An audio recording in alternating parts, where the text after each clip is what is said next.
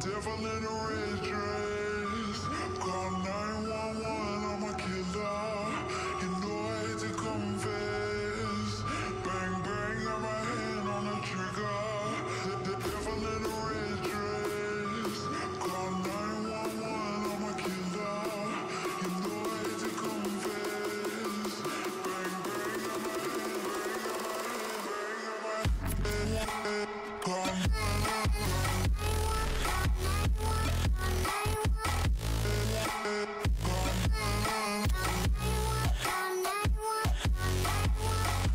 Devil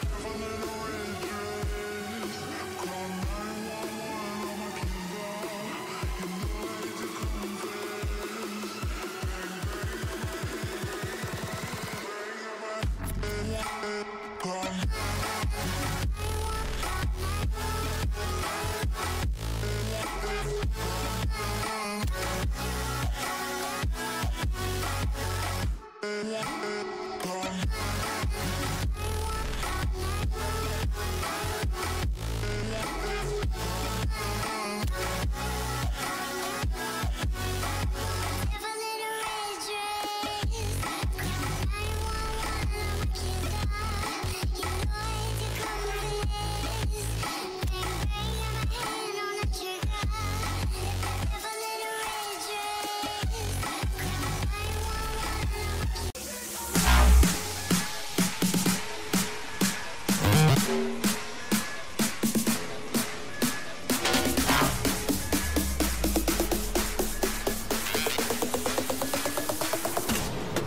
I believe.